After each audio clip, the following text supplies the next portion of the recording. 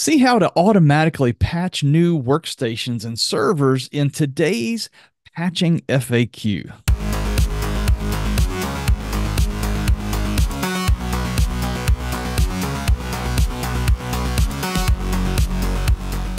Welcome back to Tanium Tech Talks. I'm your host, Ashley McGlow. And I am really enjoying this patching FAQ series, and I hope you are too. And uh, these are frequently asked questions. So, if in my in my mind, I'm glad we're really getting this content out there because I was just talking with Jason, who you get to meet in a second, where every one of these topics is pure gold because people, these are the, the everyday block and tackle of things we do with patching. And one of those is when you build a new laptop for a user or deploy a new server VM, you need to make sure it's fully patched. And so that's what we're going to talk about today on this show is how do I how fast does that happen with Tanium? What does it take to make that happen? Is kind of how do I make sure it targets just the new machines in my environment? So Jason, welcome to the show. Hey, thanks for having me back. Yeah. So tell us a little bit about yourself. If somebody's not, I, I can't imagine anybody that's not heard your intro yet um, from all the other episodes, but for those who haven't, uh, tell us about yourself. Hello, everyone. My name is Jason Wasser. I'm a technical account manager with Tanium. I've been here six years. Uh, but I've been doing operations work for too many years, uh, using all kinds of tools in the Microsoft space, uh, but even doing Linux patching too. So patching, software deployment, provisioning devices, uh, anything in the operations space is what I've been working on. And now I help uh, Tanium customers do that well with, with the Tanium products.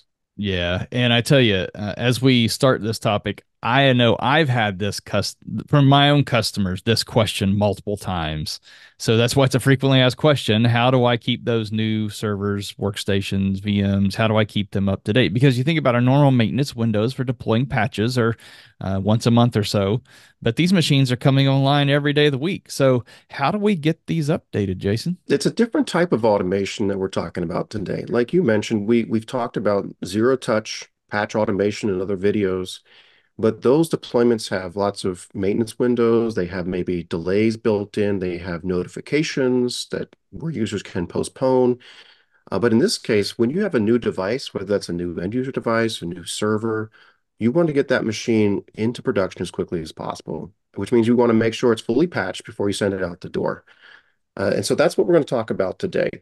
And so what we're going to do is going to walk through that workflow together to see how you can set this up. And it's one of those things where you set it up one time and then you're good. Uh, and then you can work on and focus on something else. So, Wait a minute. So I, I just have to call that out. Set it and forget it. We we do that a lot here. So so this is again one of those things that I don't have to keep updated when new patches come out. You're telling me that I can just set it up so that I can do this once in my environment and it's done forever. Is that what you're saying?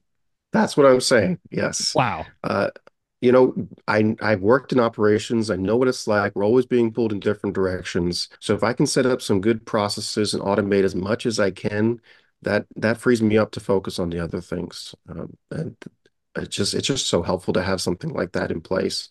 Uh, so what we're going to be doing is covering an article that's in the Tanium Resource Center. So if you go to help.tanium.com and search for automating uh, patching of new endpoints. There we go. Automate patching of new endpoints. I'm going to click on that article here. And we're basically going to be walking through this article. It has a number of screenshots and all the steps that we're going to be covering today. So if you just want to skip ahead, you can certainly do that, or you can watch us walk through this process. So the first thing we're going to need is a couple of components we're going to be putting together throughout the Tanium platform. We're going to use a, a custom tag. A custom tag is, is a a text label that you can put on endpoints is completely arbitrary. You can assign it to endpoints and assign what it does. So we're going to use that custom tag. Uh, make sure you pick a unique one. We're going to be using the tag uh, called new build uh, during this uh, uh, automation. And we're going to uh, assign that custom tag to a computer group. So we're going to build a computer group around that custom tag. That custom tag is going to opt it into this workflow. And then we're going to apply a custom scan configuration to ensure that the endpoint is scanned as quickly as possible as soon as it comes online. Then we're going to make sure it has an ongoing patch automation that in installs all the approved patches as quickly as possible and restarts the endpoint to ensure those patches are applied. And then finally, we're going to have a scheduled action that's going to look for those endpoints that have been tagged, that have completed the patch deployment, and then remove that tag so that you can put it into production. So that's the overall workflow. We're going to step through that now. First thing we want to do is go to computer groups. So I'm under the computer group section of the platform. I can create a new computer group and I can call this patch new build computers. Again, you can choose your own name and your own tag, but I'm going to say custom tags, matches, new build. So I'm using the new build tag here. Choose your own but I'm just picking something that I can use to uh, for this workflow. Now we're describing this workflow for Windows during today's uh, video, but you can use the same type of workflow for your Linux endpoints as well. So if you have new Linux endpoints come online, you can build out the same workflow for them. So I create this computer group, and this is what it looks like. I have a patch new build computers based upon that tag. So how do these endpoints get that tag? Well, you can build your endpoints with the tag built in. As you deploy the Tanium client or part of your image, you can put that tag on those endpoints. So if it's an image machine, it already has the tag and the Tanium client built in. If you're building a machine through automation, make sure the Tanium client is installed and that tag is added so that when it first comes online, it checks into Tanium, it has the tag, and it's opted into this workflow. And Jason, if I wanted to build that new machine with Tanium, what would I do? We actually have some documentation around that, uh, how to install the Tanium client and then prepare it for imaging. So that's under the help.tanium.com and look for imaging new clients or new imaging mm-hmm. with the Tanium client. Or there's a whole module called provision that'll build those Ooh. new Windows and Linux endpoints. Yeah, and you Good can thought. put those custom tags right there in the provision module as you're building them using Tanium to build those. Put the tag right in there and then the patch module will kick in uh, right after they're done. Yeah. Yeah. Thank you for being a provision. Being a provision to me, I should have thought of that answer uh, since you threw that softball at me and I just got hit in the face by it.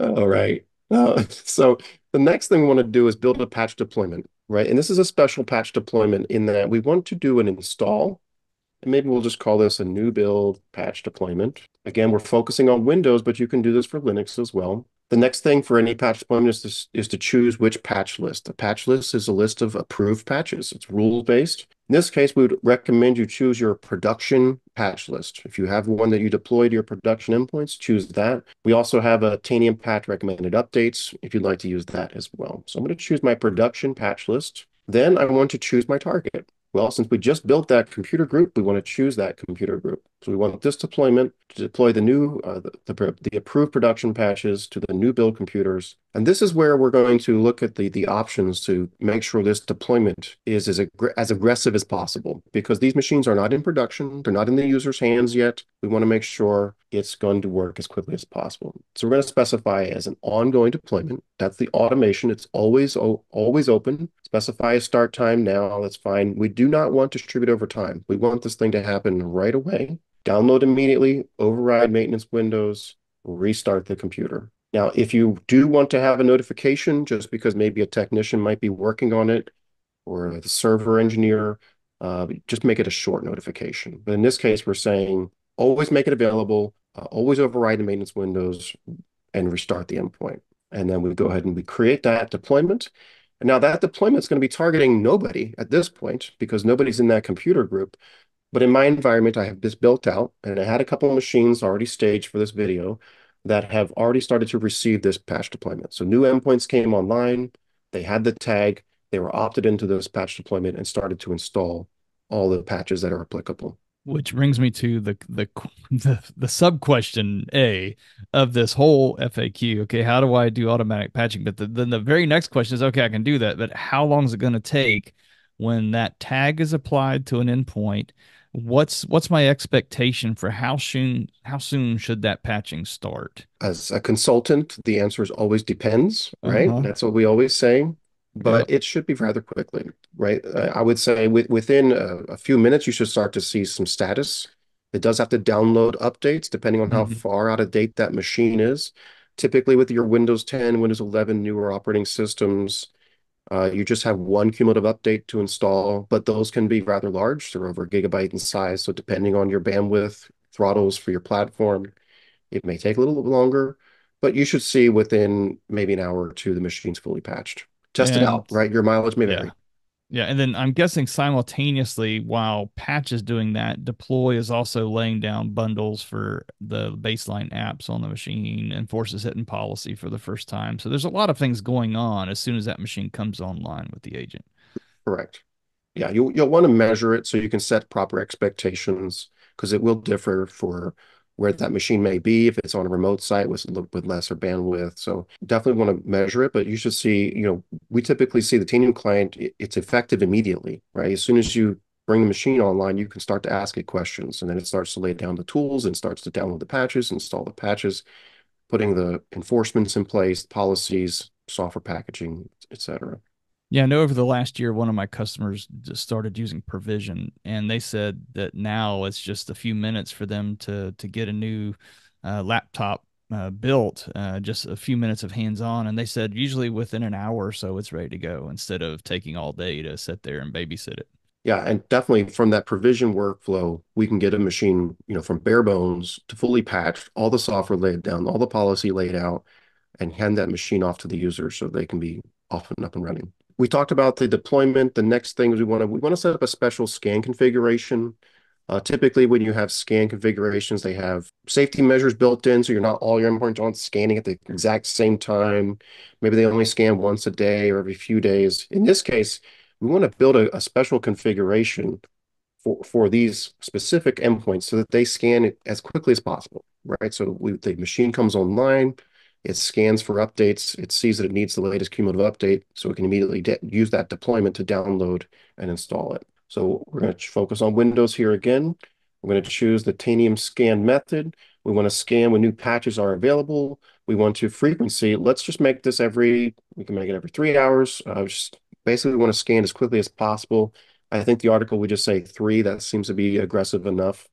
But we don't want any random scan delay right? We don't want it to add any delays whatsoever. We want this thing to, as soon as it can, start scanning and immediately uh, producing scan results. Also, you want to uh, skip any scan windows, right? Because scan windows limit when an endpoint can scan. So we don't want that either. We want this thing to be able to scan whenever. Uh, uh, once we build that, side sidebar question here that just yeah. occurred to me. I hadn't, hadn't, thought of this yet, but like uh, do we have many folks doing VDI or like massive VDI provisioning for virtual desktops or like server, like in mass server deployments, maybe in virtualization infrastructure where they would want to stagger things a little bit? For sure, right, and that's why this that is exactly why this checkbox exists for random scan delay. And on a on a typical production scan, we would definitely recommend this or higher. So this is spreading it out over 120 minutes, about two hours. Uh, if you're if you're deploying a large number of endpoints uh, and you want to use this, you can certainly use a random scan delay, but you're going to be delaying that time. Mm-hmm. Uh, but a lot of times, uh, those are built from templates um, and they're already patched to the gold image. Uh, it's better to patch your gold image when deploying that rather than having Tanium come back around and scan and patch it. That's a good point. After we build this scan configuration, we need to assign it to a computer group. Everything in Tanium Patch is a configuration that you enforce or assign to a computer group. So I've built my scan configuration here, and I can scroll down and I can select my targeting group. So again, I can choose my new build patch computers. I've already done this for my for this demo here. But I build the configuration, and I assign it to the new build computers. So those computers that are tagged will automatically get this scan configuration. We're not done yet one more thing we have to do uh, is prioritize that scan configuration. So each scan configuration, you can have more than one uh, per endpoint, but the scan configuration with the highest priority wins. So what we want to do is click prioritize here and make sure our new build patch scan configuration is at the top. Uh, that way, those that configuration is only enforced is is properly enforced on those endpoints and that's not being covered by your general scan configuration. So that's that prioritize button there. That's a, again, was a one-time setup. We do all this, you're done. Uh, so we've built a, a tag, a computer group, a deployment, a scan configuration. And then, of course, what we need to do is we've got machines that are being built. They have the tag, and we need to remove that tag when they're ready to go into production. We don't want to have them always patching and restarting without any notification forever, especially if it's in production. So what we want to do is set up a scheduled action that removes that tag. And I'm going to use the interact. So I'm in the, the module interact, and I'm asking for all the custom tags from the environment, and I'm selecting the new build tag, and I'm clicking deploy action. We want to remove this tag. So let's walk through that together. So we want to remove this tag. And then what we want to do is, is name this. So uh, like new build uh, and this is outlined in the article. You want to make sure this is very clear what this scheduled action is. So when you come back later and you look in your scheduled actions, you know exactly what this is for. And then you want to set this to a recurring deployment. And let's say we'll do it maybe every five hours. That should be plenty of time for a machine to fully patch and restart. So every five hours, we'll have this scheduled action go out and look for endpoints that have this tag and then remove that tag. Uh, two more things. Select your action group, right? In this case, default all computers is fine. If you want to choose all Windows, that's fine as well. But we're going to add a filter question. And this is where we're going to make sure that sure that the endpoint not only has the tag that we need to remove, but it has completed that patch deployment. And this, I got to go back to our article and I'll show you what I'm talking about. This is a, a, a, a filter question that we need to add. Now I've outlined it here in the article. We're going to add this filter question and it's, it's a Tanium query that just says, show me the machines that have this patch deployment ID 126. So you got to look at your patch deployment ID when you create it. And then we're going to replace this 126 with your patch deployment ID. So I'm going to take this whole query here and I'm going to go back to my browser and I'm going to paste that in here. So what this is saying is get those endpoints that have completed deployment 126 have that tag and then we're going to remove that. But so we got to we got to make sure we edit though that that ID in there, right? The 126. That's, That's not so uh, again, just to recap, can you show folks where to find that ID? Yes, and I missed that earlier, so I apologize for that. But when you we get back to that tab here, we have a tab. So when you create your deployment, it gets a unique ID. And that ID here is shown right here at the top of the page. So what you want to do when you create that deployment, which is the third step in this workflow, after you create the deployment, you can go ahead and grab this ID and put in your notes. And then when you, you can go to the article, copy and paste that filter question, and then replace that ID with, with the ID of your new build patch deployment. So in this case, I have two endpoints that have have the tag and have completed that deployment. You may not have any at this time. That's fine. But what we're going to do is set up this scheduled action so that uh, it will automatically do this going forward. So every five hours, the platform will automatically go out and see if any new build machines have completed their patch deployment and then remove that tag. And then you can put it into production. Yeah, because that that's the trick shot right there. Um, I was thinking, okay, if I'm just gonna every five hours go remove the new build tag, what if it just came off the image and it's five minutes old and then we're just ripping off the new build and it didn't get a chance to patch it. So this this is that that fills in the missing gap in my mind. So we're actually using a Tanium sensor that we use all the time to to, to look at the patching status of that deployment to say is it complete or not and only after it's complete will we remove that tag that's That's beautiful. Yeah. Be sure to uh, take a look at that. You can copy paste, just change out the ID. Uh, and, and, you know, we, we walked through this video in, in just a few video, few minutes. You can go through this article yourself and set up the automation of patching your new endpoints. Just set it, forget it, and free yourself up to do something else. Well, Jason, thank you again. Uh, again, I just I'm amazed. These these every one of these FAQ videos we've been doing on Patch are just pure gold. I mean, this is stuff that people do every day, and we're saving so much time. So thank you for walking us through. Again, community article in the uh, show notes below tanium resource center help.tanium.com you can go out there find this article and it's a walkthrough just uh, promoting here uh, Tanium certified. Yes, there's swag out there for you. If you show up at Converge and you're certified, you can get something. So uh, you can take your exams at Converge uh, every, in November every year for a discount. If you've not done your Tanium certified operator, Tanium certified administrator, and we have an endpoint management now certification that I believe includes some patchwork in there. So uh, patch and deploy. So that stuff is out there in this channel. You can uh, search for Tanium certification. And uh, in this Tanium Tech Talks playlist where you found this video, you'll find some other videos talk about certification as well. So why not do that with all the free time that you save and automating your office and and new build patching and all that other stuff? Uh, use that time to go get Tanium certified. So uh, this has been a lot of fun. And stay tuned. There's more patching FAQs coming up in this series. So until next time, go Tanium.